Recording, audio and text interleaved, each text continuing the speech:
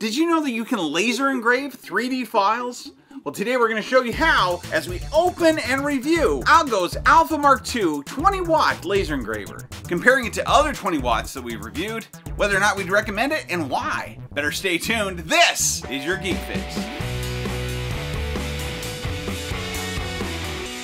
I don't have a lot of experience in the past with Algo uh, or their products, but I gotta say right off the bat, just from what I've seen on the box as well as other things that they've sent me, uh, I'm kind of excited about this, and I'll tell you about why as we go through. On the outside, uh, it does say 3.5 LCD screen, powerful laser beams, 10 times faster engraving, 400 by 400 millimeter engraving area. It runs a four core dual MCU, not Marvel affiliated, built-in Wi-Fi, mobile Android and iOS controls, and heavy duty metal frames. It also says that it has more than seven safety features. So, with that said, uh, should we open it?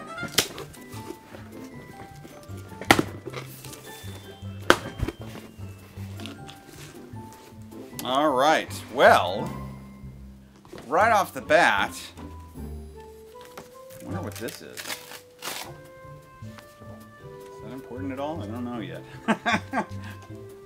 but it looks really, really nice. I like the packaging, very organized. Uh, let's see what this is. Looks like this is some Oh, there's a quick start guide for the air pump and laser engraver. Okay, we'll put those over here, and then we got this blue one, and uh, it feels like I got a bunch of a laser engraver consumable package. I think these are, oh yeah, I got some Velcro and zip ties, I think for putting things together initially. You got a brush, and then these cards, which I love. I actually I engraved a whole bunch of these to take to the Fallout vent in Goodsprings last year, and they came out awesome. So uh, then we got some stuff for cutting. So we got, oh, actually, I thought this was wood. It is not. I think this is the first laser engraver that I've gotten so far of, of four or five, where it, uh, it actually not only says you can cut with acrylic, but sends you acrylic to cut, test cut with. So definitely gonna be trying that out. Oh, and I thought this was just a, a piece uh, that was kind of just on the bottom uh, for separating things. Nope, this is actually a big piece of wood uh, for cutting with. Taking this piece off now uh, exposes all of our laser parts that we have. I think what I need to be doing at this point in time is using that quick setup guide uh, because it's probably going to tell me a certain way it wants to take everything out and, uh, and what I need to do as I go. So this is starting with the laser engraver quick setup guide. I noticed on there a bunch of their materials they have engraving happiness. Getting started here. Sure enough, it has all the parts I'm going to be needing to focus on at this point. So, uh, and all the bits and pieces that we're going to have to assemble.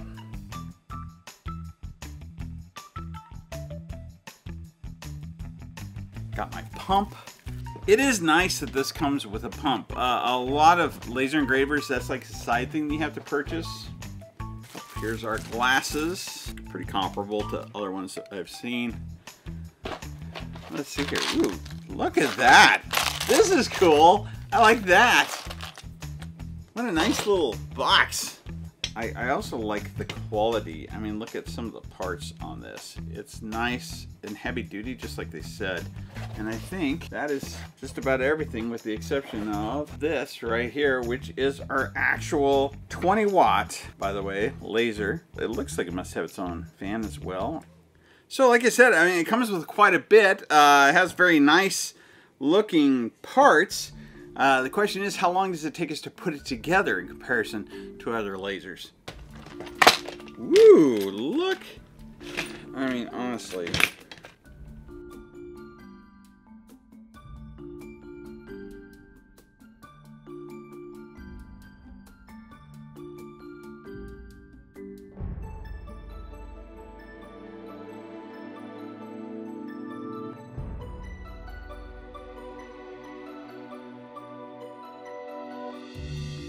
So a couple of things so far. One is uh, I, I'm not a huge fan of Allen wrenches. Um, they, if I could have, I try, I try to stick with the tools that they send me, so just to show you how quick it is to put them together. If I have to use an actual Allen wrench, I think it's much better if I just tighten it down with my fingers first and then just use this to tighten it at the very end. That'll speed up your process a lot more. The second one is that when I was putting this together, it actually, it was pretty easy to put together with the exception of I, I got confused about one of the steps and, and that was uh, that was this first arm that I was putting on. And the reason for that is that uh, the the actual piece has this arm on it, uh, which has which is what holds the laser. It was connected to it by a set of cables, but that's not true in the picture. So I guess I I was trying to make the wrong arm work initially, um, so that used up part of my time as well. The other thing that throws me off a lot on this is this part. Um, I'm about to put this on, and it is the last part to put on. Typically, you have to make sure that you slide it on uh, somewhere in between um, because it it connects in between. This one connects at the top, uh, which I can see a lot of benefits to that. So I'm kind of excited about the way that this is assembled and put together. Uh, it makes it a lot easier to fix or to do things with if you have to. Boy, I hope I didn't speak too soon. Uh, so, I'm going to start attaching this now. So the first thing we're going to do is we pull down this arm right here, slide this inside, and then I pull that arm back up it should lock it uh, temporarily. Next, I guess I bet I'm just I'm just sticking in cables is essentially it. So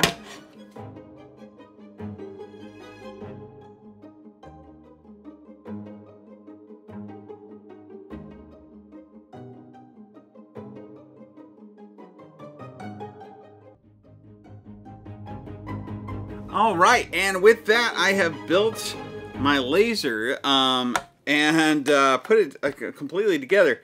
The next thing that I need though before I connect it to a computer and, and before I start cutting is something else that they sent me.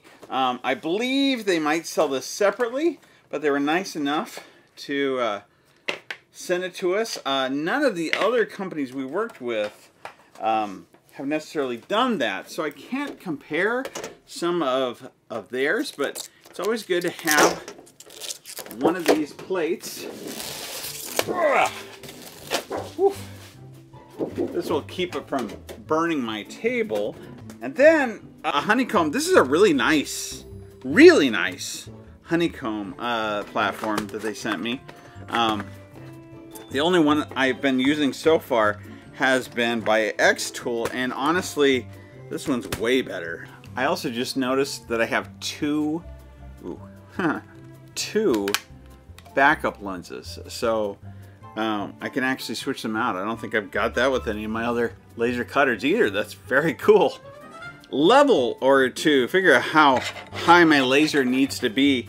For example, for me to cut on one of these cards right here. Uh, basically, I would be placing the card down and then we're using this little tool that they give us, this little leveler. And uh, then I just close it down until it meets the edge on top like so and then I lock it into place. So now supposedly my laser is close enough to cut. I like how close that is actually. Uh, there's no real room for a laser to escape out or for me to have something bounce off and then like I said if I want to I can use these plugs right here and pop those in there to hold it into place. There we go. So it's nice and nice and solid. I, I wish I would have had that actually when I did all those cards uh, or last year because uh, that would have really helped. I had to use tape instead uh, because magnets usually don't work that great on this. So, any rate, very cool. And then, and then, we're going to connect up this as well. This is my blower. Oh, I have not had one of these yet that actually has a way of, of adjusting how much it's it's blowing. That's really cool. I also like, I think I mentioned this on one of the other ones we got, I also like when the blower itself gets electricity uh, from the, the unit itself. Uh, we've had so many things where biggest thing I didn't like about Xtool was how many things I had to plug into the wall. Uh, it was kind of ridiculous. So it's kind of nice to be able to have something you just have one plug or two plugs you have to plug into. We have our power right here. We have our air right here. You get a serial port and then you get your USB. So with that, we're ready to test, cut some things. All right, so let's try it out. Uh-oh. Well, that's not a good thing.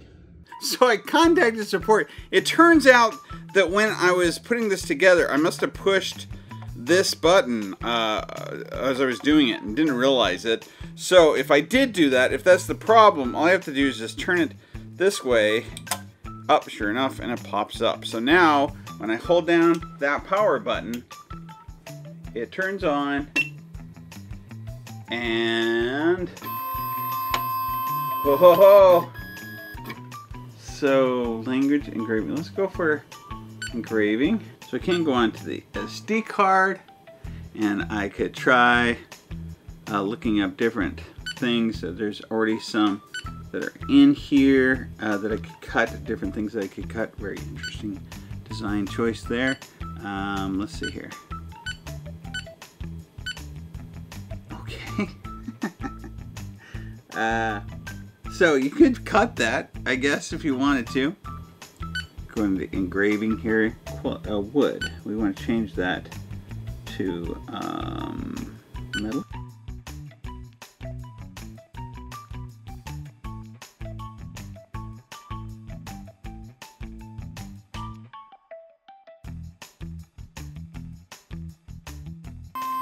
All right. I think I, uh, I think I didn't line it up very well. Something to be aware of is you really need to uh, wipe off that black residue afterwards. And once when you do, looks pretty clear. Look at that, it looks like an art piece kind of. so, so yeah, it, it looks like it does the engraving on the card just as good as my other one did. Pretty easy to use. I tried it again. Got this one right here. Um, so there you go. You can also put in your own JPEG files into there, and uh, and I was able to make that. So pretty good, just as good as my other cards. Also, so one thing I like already is that a this uh, screen is built in.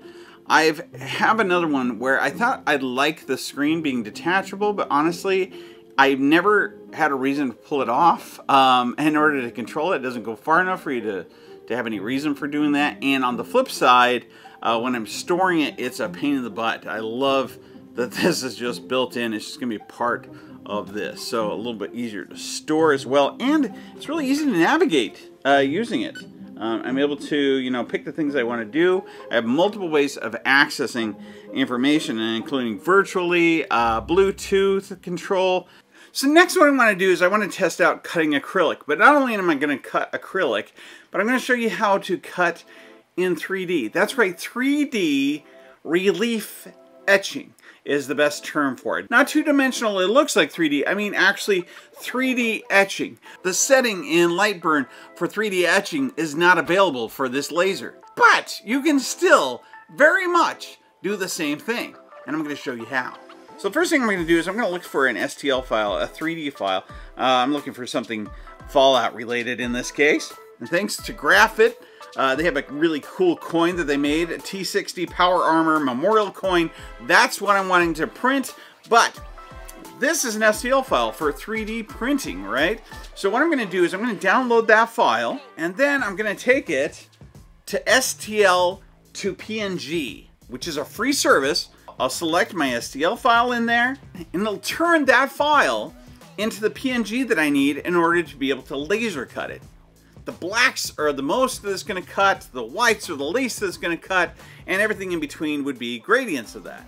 And then I'm going to import that into my Lightburn program, and I'm going to make it the size that I want it.